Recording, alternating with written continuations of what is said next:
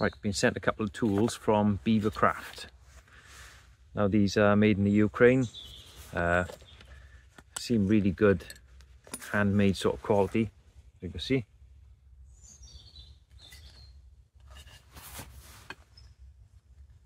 The top part I'd say is the the lowest quality feature of the whole thing.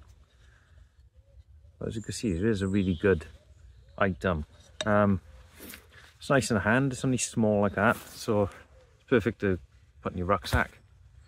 I've been using this out for the last two weeks and find it is really handy. Um,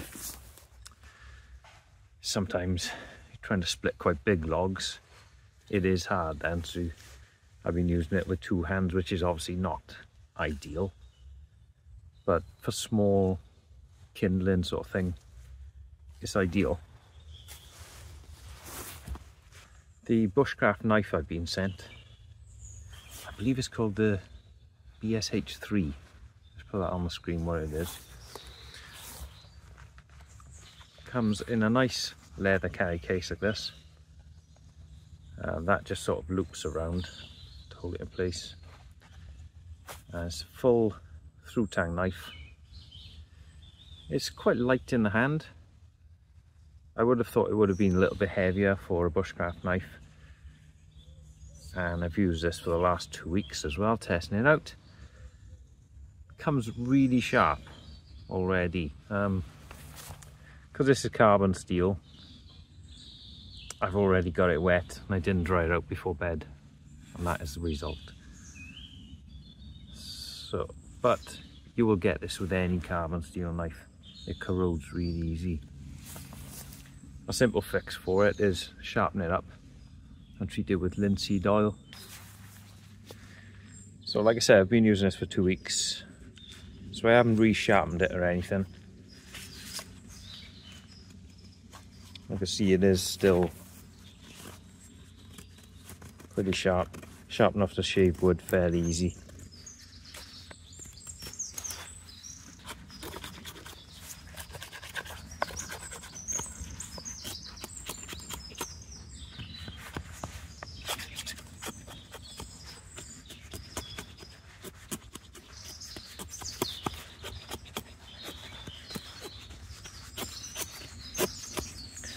You can see it is a capable thing.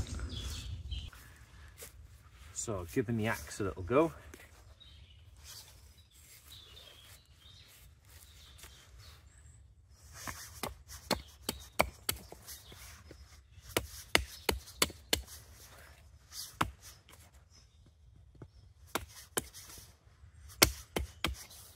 As you can see, proper sharp.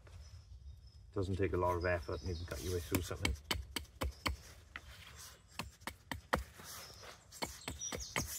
In a very short time I got a nice spike on there.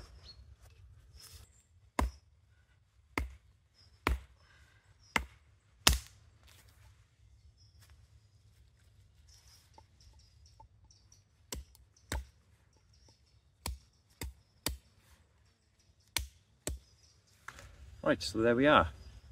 That is the axe and knife from Beavercraft. Yeah, really nice handmade things from the Ukraine the axe in particular now, this will be coming out with me every camp. So it has proven itself. Uh, the one I normally use is a Hultafors, which is quite a bit bigger and heavier. So this is quite light. So this is coming out with me. I'm going to give this knife to Kat, so we'll wait and see if she uses this a lot now. I think that's going to be perfect for her. So if you do fancy one of these, I'll put the links below for you and thank you to Beavercraft for sending me these to check out. I'll catch you next time.